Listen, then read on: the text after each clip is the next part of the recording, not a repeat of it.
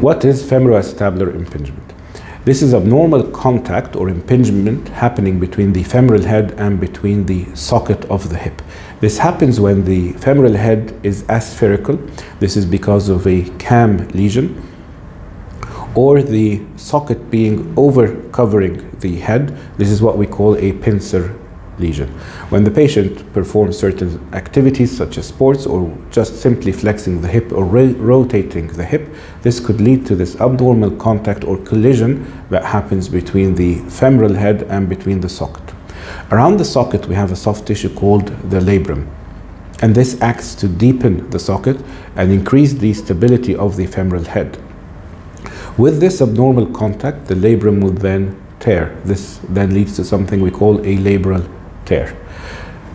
As the disease progresses, this then leads to damage of the articular surface itself and leads to arthritis. So how do we diagnose femoroacetabular impingement? So first by clinical assessment. So the patient comes on complaints of hip pain, usually in the groin or in the C area following activities or following certain positions such as hip flexion and hip rotation. Later on, this pain might become persistent after they develop a labral tear or after they start developing early osteoarthritis. Then there are certain tests we can perform in clinic that could raise the suspicion of femoroacetabular impingement. The next step is to get appropriate imaging. And at this point, we usually get an x-ray or a radiograph of the pelvis in the frontal position, an AP position, and the side position of the hip. And it's usually in the side position where we can see this abnormal bone or this cam lesion developing on the femoral head.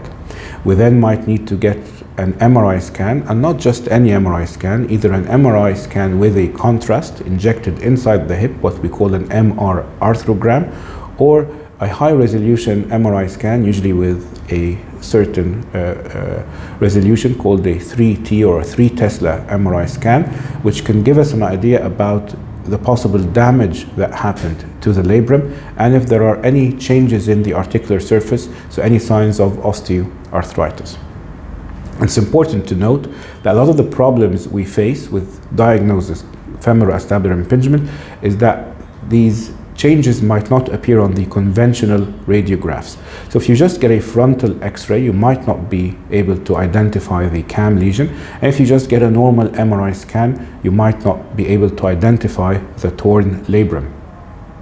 So our goal with femoroacetabular impingement is always to stop the impingement, to stop the damage. We can stop the impingement by two methods either by trying to modify the lifestyle of the patient. So whatever activity they're engaging in that is causing impingement, we try to limit or modify that activity. Also, physiotherapy here can play a role in increasing the strength of the hip and increasing the awareness of the patient to these impingement positions.